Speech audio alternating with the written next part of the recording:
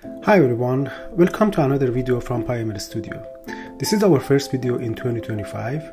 In the last video, we covered some uh, techniques for enhancing the LLM capabilities that included uh, prompt engineering, uh, LLM fine-tuning, as well as uh, RAG. So in this video, we are going to implement a RAG system from scratch. So let's get to it. So today we will start with a brief recap of RAG then we will see vector databases, uh, what they do, and uh, see a few popular vector databases. Next, we will see uh, some of the main uh, embedding models that we can use for building a RAG system. And finally, we will go over an implementation of a RAG system. So this implementation uh, will help in understanding different components, what each component does, and uh, how they are working together in a RAG system. As we mentioned in the previous video, LLMs have acquired a parametric knowledge during their training. This parametric knowledge is good for general use cases, but uh, there are certain limitations to that. LLMs have a knowledge cutoff date and they cannot answer questions about uh, recent events beyond their cutoff. And also, they are not suitable for domain specific applications uh, with proprietary information that are not publicly available. And finally, updating LLMs with new knowledge is not easy. To overcome these limitations, we can use uh, RAG or Retrieval Augmented Generation. Essentially, RAG is a technique that, uh, given a query from user, it finds the most relevant information from a database and then feed that information to the LLM. Then the LLM will answer the user's question based on that information. Vector databases are specialized databases that are designed for efficiently storing and searching through high-dimensional data. They essentially implement uh, the approximate uh, nearest neighbor algorithms, which uh, is a class of algorithms for approximating k-nearest neighbors. Vector databases have applications in search and recommendation systems, and they are an essential component of a RAG system.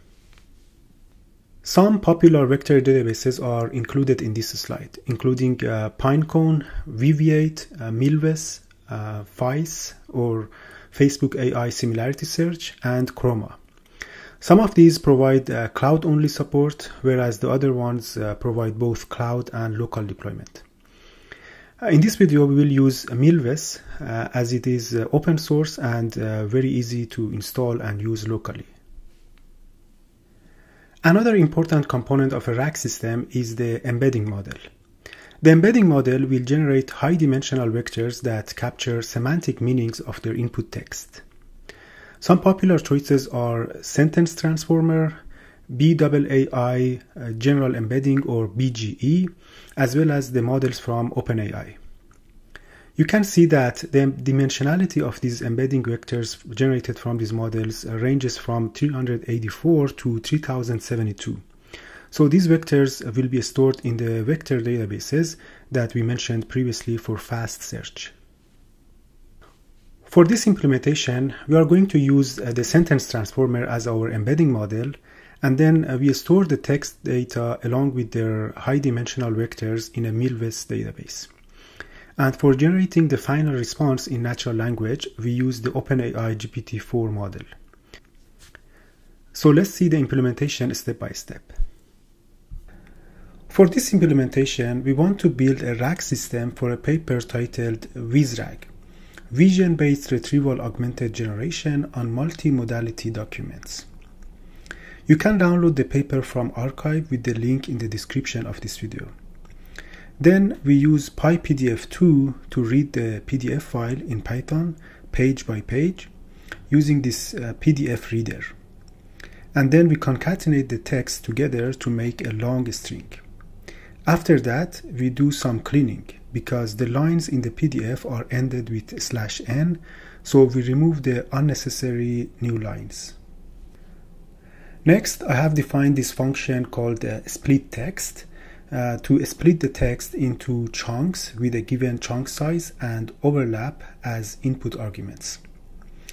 This function will return a list of text chunks. Uh, for this example, I used a chunk size of 2000 and uh, overlap of 500 characters.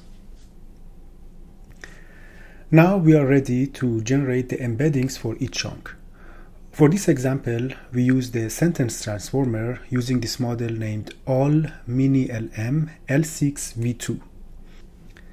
Then we call a model.encode on each chunk and get an embedding vector for them. The next step is to store the chunks and their associated embeddings for lookup. As we said earlier, we use the Milvus vector database for this part.